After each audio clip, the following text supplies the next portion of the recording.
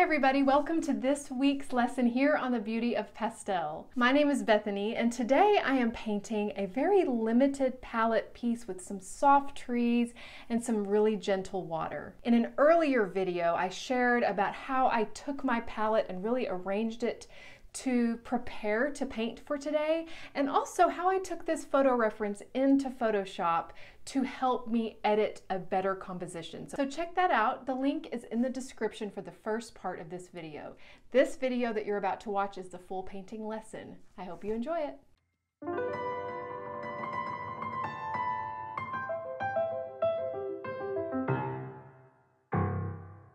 Here is the pencil sketch. You can see the reference photo there on the left and how I arranged this, that distant horizon line. I also wanted to add a little spit of land right there because I wanted to contain that main horizon line so it wouldn't swoop out of the piece. Adding a little, almost a framing technique really thinking about the brush strokes uh, or the pencil strokes holding it at the bottom and I, I, like to flick and push up to indicate those those branches.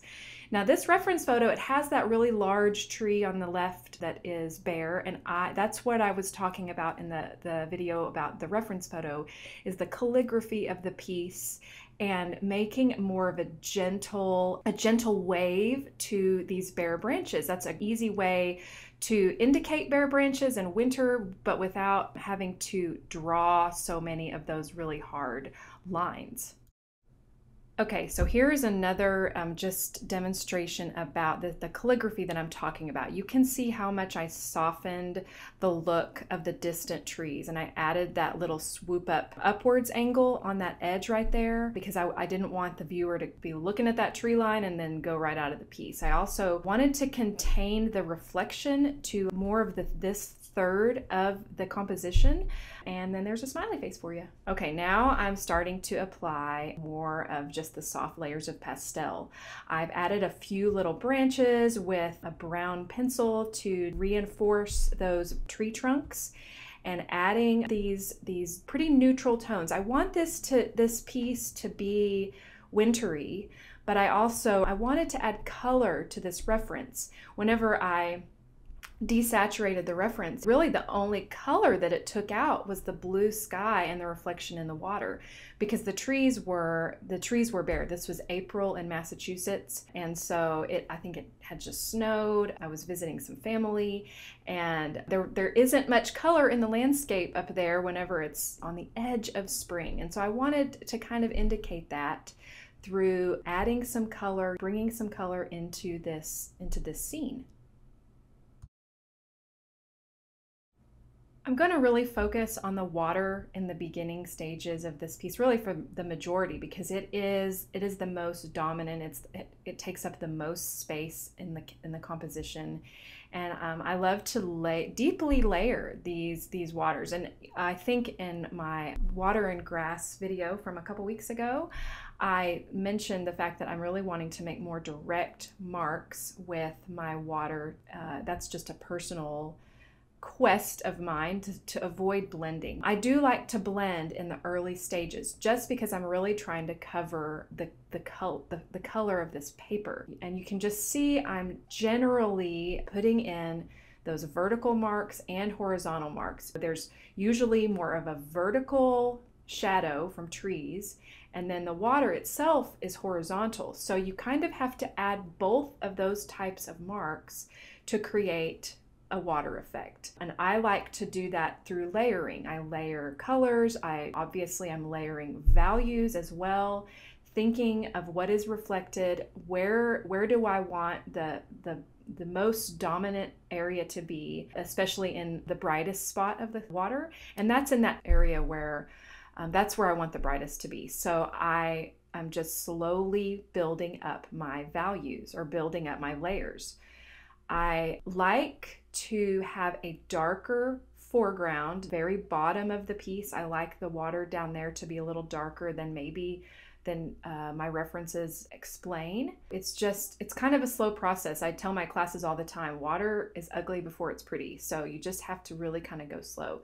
Here I'm using a piece of pipe foam from my garage to blend down and across just to soften. We're just working slowly to soften these colors together. And then I'm gonna just kind of work back and forth. So this right here is how I work on shadows and trees. And remember that that trees, it's it's a it's a mirrored reflection. It's and so when we're putting in uh, like a, a tree trunk, for instance, it needs to be at the proper angle. You don't want to put it at an angle that is that isn't as nature would would re- reflect. So really pay close attention to that. I don't usually worry too much about including the entire if, if there's a bare tree. I don't include a very hard edged shadow in, into the water. I kind of like to make those disappear a little bit because they can draw the eye a little bit too much. Be careful on that. Really look at your, your, your tree trunk shadows and have them taper off taper off a little bit. Have the angle correct and then taper them off and then and then it's just a little bit easier. Adding some darks in just to further that contrast, sweeping it down Remember, what goes, us, what goes up must come down. Just gently kind of tapping it with my finger every now and then. Wanting some contrast right there where that little distant, this distant tree line. In this, in this photograph, obviously all of the trees look like they're on the same plane because they're all the same color. And so this is where as artists, we get to play with the exaggeration of value to to indicate distance. And so that little peach tree that's kind of in the distance behind the more the darker purples in the front, that's just my way of pushing those trees back while keeping while keeping the composition intact.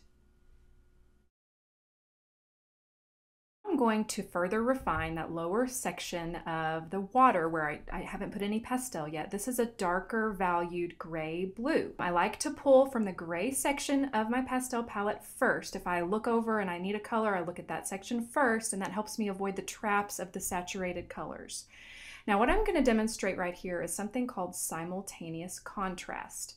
What you see is how one pastel can be either light or dark depending on what it's next to. In the darker shadow area of that tree shape, that um, that pastel was lighter. In but when you drag it across into the lighter area, it is darker. Simultaneous contrast is a really great tool to have in your knowledge base. It doesn't only apply to value shifts, it can also apply to color shifts. For example, a, a cool color, you can't really tell if it's cool until it's next to something warmer. When we place those different elements around our painting, really thinking about that concept, it can really help our, our paintings progress. And also, it's it's a really useful tool for pastelists and, and of course other painters as well. But we have our immediate palette just right in front of us. We don't have to mix paint and go through that effort. And so we have our palettes right there where we can really pick and choose very carefully using the, the concepts of simultaneous contrast. I have continued to define that lower area of the water and now I'm using my Viva paper towel to just tap, tap, tap, tap and blend in, especially the hard edges of where the values are, are changing from the dark shadows to towards the light. Um, I'm really wanting to contain that light in that area right over there on the on that third line if there was an imaginary line going down the painting and so I've I've worked kind of outside in towards that light and in the reference photo, there is there are brighter lights over there where I'm working right now because the trees are lower.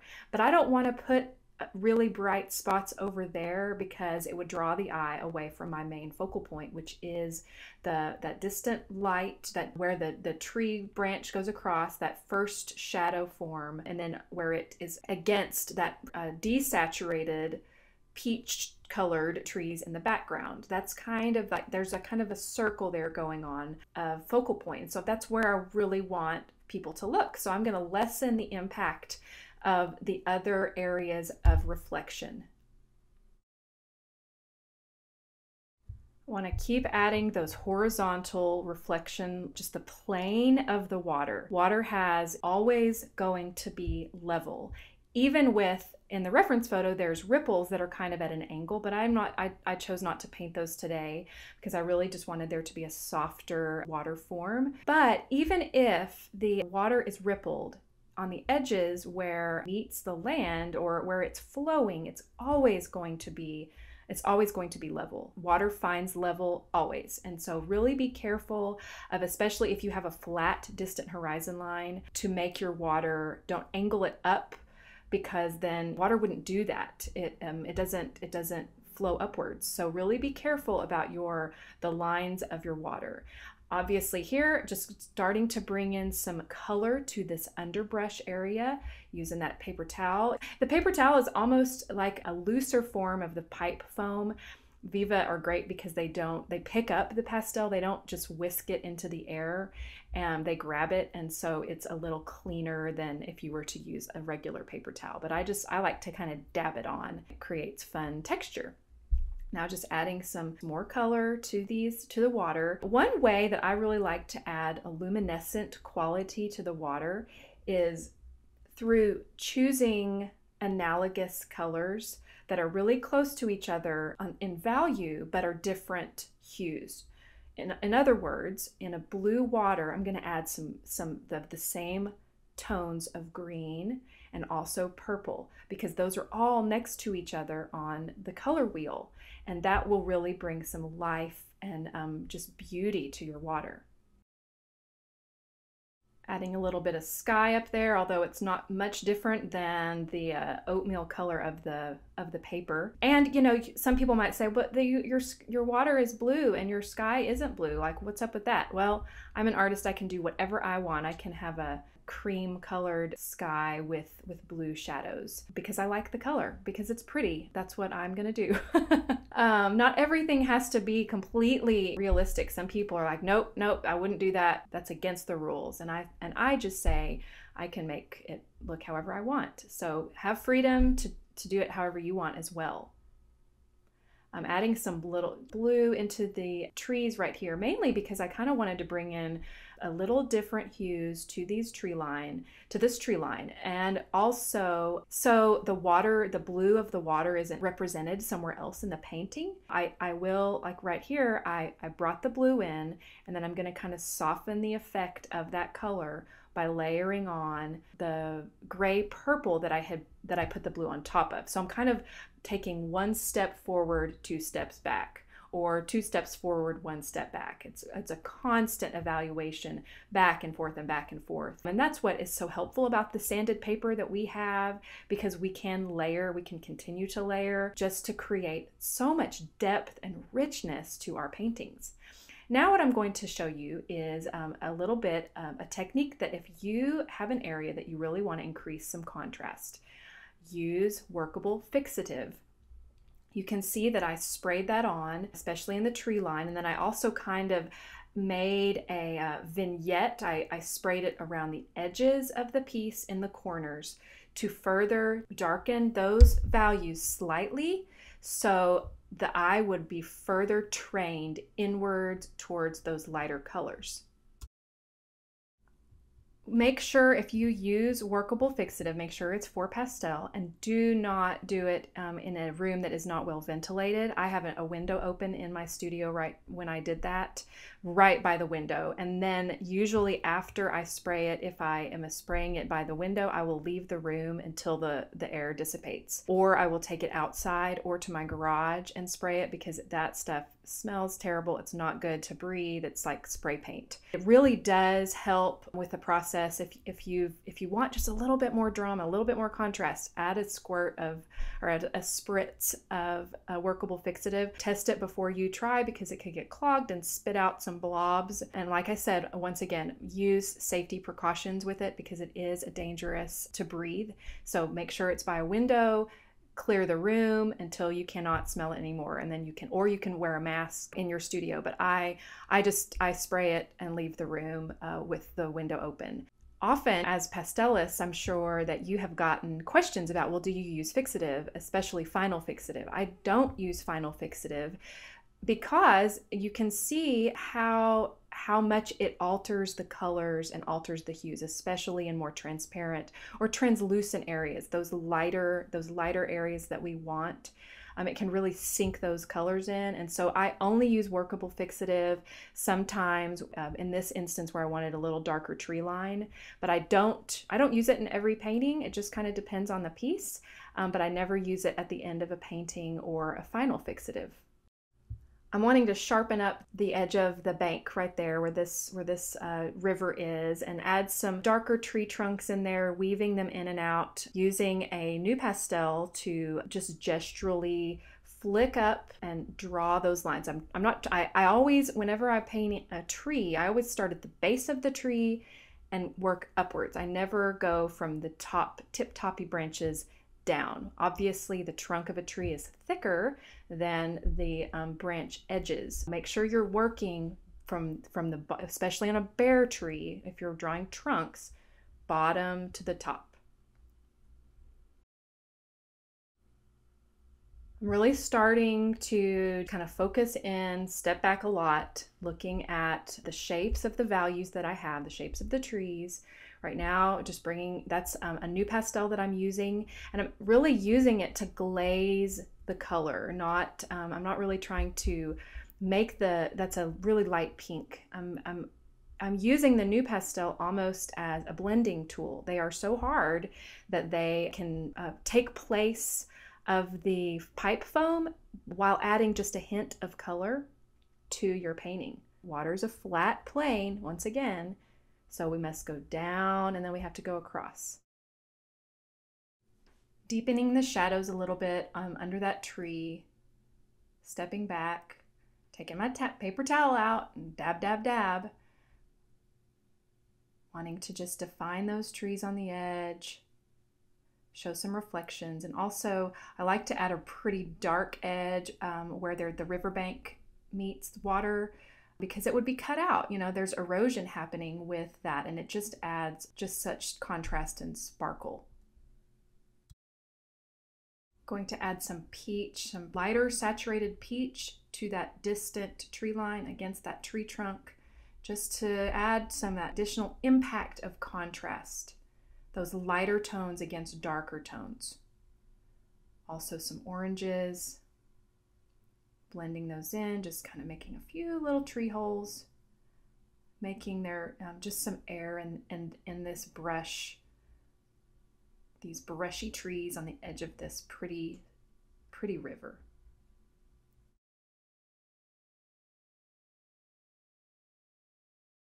Now, in these final marks on this painting, I um, have really just been thinking that uh, I want to add a little bit more interest to the, the to this tree line, and so I'm going to layer in quite a few hues and colors, values to just create a little bit more texture and depth. Um, right now, it just it seems kind of solid. but Sometimes some of that is because I spray that workable fixative. Workable fixative does allow you to keep continue layering, but I wanted I felt like these trees they just kind of seemed a little claustrophobic. I like um, there to be air without adding too many tree holes or sky holes I mean. And in this case it's they're not really sky holes, it's more creating depth within the branches. So I'm using really close values of different colors um, in that gray section once again to imitate foliage that's branching over using a little bit warmer um, that's a little bit warmer um, kind of a maroon burgundy i think that's a Unison just to be in contrast with the cooler purple that i used as my base. And that's another re- that's another example of simultaneous contrast right there how some things look warmer or cooler depending on what they're next to adding those those uh, brighter tones just to increase the contrast of, of saturations and beauty to this piece, sweeping that down into the water a little bit because that would be glowing as well. It just adds such a beautiful touch. Uh, I, hope, I hope you've enjoyed watching this piece come together. I certainly had fun painting it for you and talking about some of the different concepts about how to how to use your reference photos, how to edit them. I hope you enjoyed watching that painting come alive. I certainly love painting them for you. Thank you so much for being here and for watching this. If you like to help support this channel, keep these free videos coming, please consider visiting my Patreon page. The link is right here. I have several levels of support and I appreciate every single one of you. I can't wait to keep teaching you about the beauty of pastel. See you later.